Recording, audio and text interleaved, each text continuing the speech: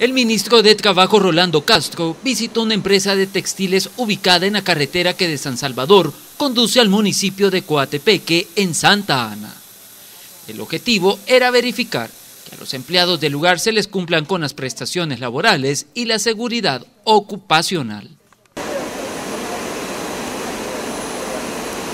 Pues prácticamente encantado con esta visita. Tenemos empresas 100% responsables en El Salvador, líderes en muchas cosas.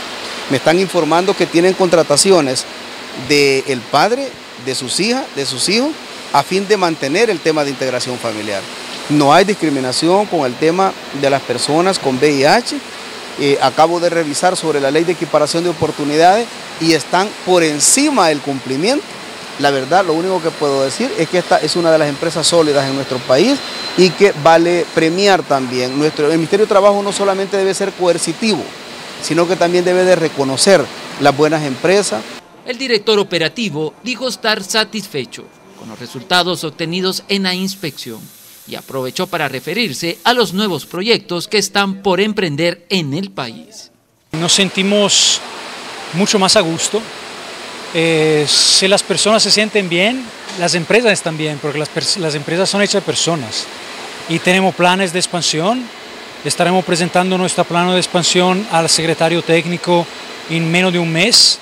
Y obviamente después tenemos que trabajar de la mano con los varios ministerios. Pero estamos, como dije, muy satisfechos, honrados por la visita y esperamos poder devolver esto en empleos, trabajos e impuestos.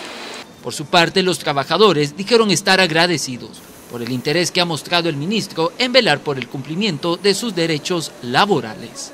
Pues por ahorita todo bien con el Ministerio de Trabajo, se mira bien eso. Porque así se ve que están velando por los derechos de los trabajadores y es muy importante. Se espera que estas mismas acciones sean llevadas a cabo en los próximos días en otros puntos del país.